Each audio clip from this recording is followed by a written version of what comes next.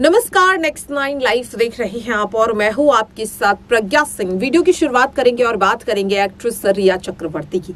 रिया चक्रवर्ती एक लंबे समय के बाद फिर से पर्दे पर नज़र आने वाली है। जी हाँ, आपको बता दें कि एमटीवी पर आने वाली रियलिटी शो रोडीज के नए सीज़न में as a gang leader Riya Chakraborty नज़र आने वाली है। लेकिन अब रिया चक्रवर्ती पर सुशांत के फैंस का गुस्सा फूटता हुआ दिखाई दे रहा है। दरअसल आपको बता दें कि साल दो हज़ार बीस में जब सुशांत सिंह राजपूत के निधन की खबर आई तो इस मामले में रिया चक्रवर्ती का नाम सबसे आगे था।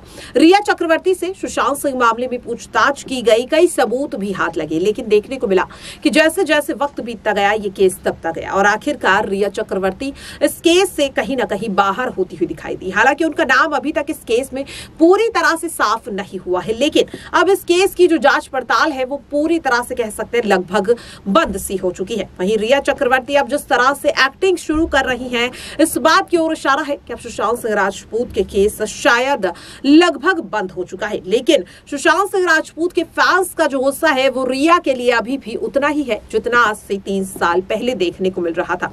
बता दें कि जब से रिया के इस नए रियलिटी शो का खुलासा हुआ है, तब से रिया कहीं भी अगर स्पॉट होती है तो फैंस उन्हें काफ़ी ज़्यादा ट्रोल करते हैं।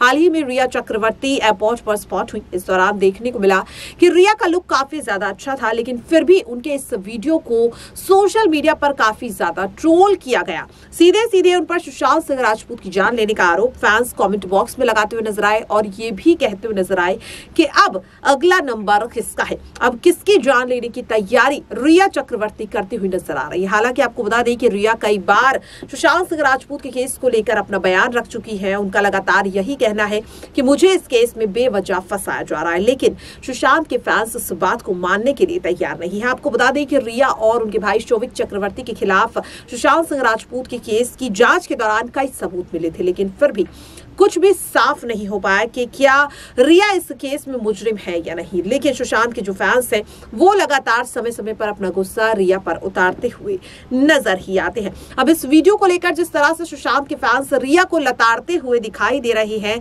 क्या ये सही है या गलत? अपनी राय कमेंट बॉक्स में ज़रूर शेयर करें और बाकी ऐसी खबरों के लिए देखते रहे नेक्स्ट नाइन लाइव। नमस्कार।